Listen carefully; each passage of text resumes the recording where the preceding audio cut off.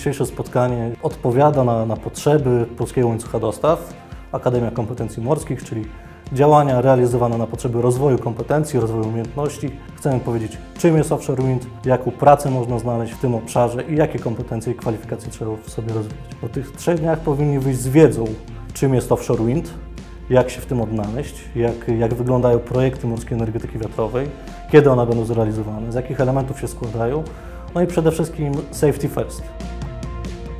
Jest to przede wszystkim szansa rozwoju dla tych osób, jak i również e, szansa rozwoju dla regionu, jak i też szansa rozwoju dla naszego kraju. Dlatego tutaj też jesteśmy. Obecnie realizujemy projekty Bałtyk 2 i 3 oraz Bałtyk 1. Te projekty są w fazie dokumentacji konstrukcyjnej. Obecnie poszukujemy pracowników do biura w Warszawie, ale też również pragnę wspomnieć, że Equinor buduje bazę operacyjną serwisową w Łebie, w której zamierza zatrudnić od 80 do 100 osób w całym cyklu życia projektu, który trwa kilkadziesiąt lat.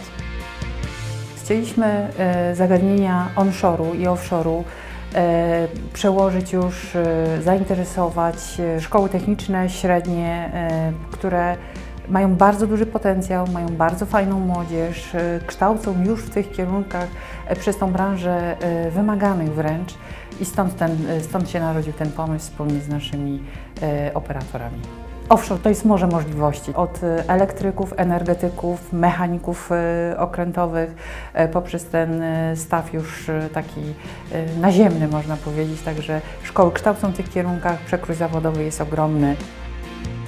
Praca fizycznie jest bardzo wymagająca, zwłaszcza technicy rozpoczynający swoją karierę, zaczynający od podstawowych prac związanych z instalacją turbin wiatrowych, mają najcięższą fizycznie pracę. Muszą bardzo dużo kilometrów pokonywać drabiną góra-dół e, podczas instalacji, przenosić ciężkie narzędzia, gdy jeszcze nie ma windy, nie ma dźwigu w Neseli. Niewątpliwie najciekawszym elementem pracy technika turbin wiatrowych jest możliwość e, zwiedzenia świata, różnych jego zakątków, poznania różnych ludzi, różnych narodowości, różnych kultur. No i oczywiście zarobki. Zarobki, które są nieporównywalne z innymi branżami.